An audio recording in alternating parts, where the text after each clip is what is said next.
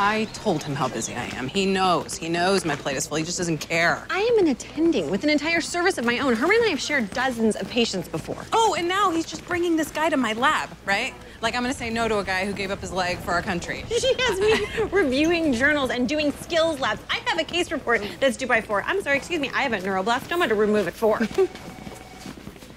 Wait. Is this your way of telling me that you're canceling our meeting with the surrogacy agency tonight? what? No, wait, no. I will I will figure that out. I just say something to help me. You own a hospital. You are raising a beautiful girl. You save babies. You're gonna save more, right? You can do this too. If anyone can, you can. Oh, Oh, okay. Um, listen, I will meet you at the agency with a smile on my face. And we will get ourselves a new baby. It's 100% titanium body and 13 sensors. But before we can get you on a leg like this, we need your muscles and nerves to interface with the sensors. So this electromyogram will show spikes when your muscles contract and then go flat when they rest, okay? All right, go ahead and flex for me, Jeff.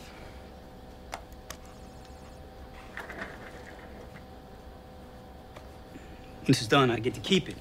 Well, it's all funded, including follow-up. So, yes. Sorry, I know how that sounds. It's just all I wanted was to be a ranger, you know? I still dream about it all the time.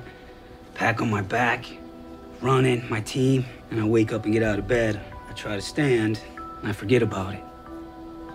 So you know, when you say free robot leg, I think I'm still dreaming. I'm running with the guys. Jeff, are you still flexing? Yeah. Can you take a picture of it? Yeah. My mom, she's gonna freak. Jeff, flex harder for me. What? I should be seeing readings. What, what's going on? Uh, we're- we're just having trouble with the EMG. No, no, it's not the EMG. Jeff, I'm. Dr. Torres, can I talk to you for a moment? Excuse us, Jeff. That was inappropriate. Inappropriate? You were Yeah. about to reject him from the study. Yes, you saw those readings? Look, the way his amputation was performed, there's no way this will work. Okay, it's a crappy amputation, Owen. Probably because it was done in less than ideal circumstances. He is a soldier, Cal. I know that. I feel bad about that, all right? I, I care about that. I really do. You know who doesn't care? You know who doesn't give a damn about his service? The robot leg. All the robot leg cares about is that the nerves in his leg aren't communicating with his muscles, which means they can't communicate with the sensors in the prosthesis, which means the robot leg won't work. And you can find a way to help him. Just, just figure it out. I'm sorry, are you not listening to me, Owen?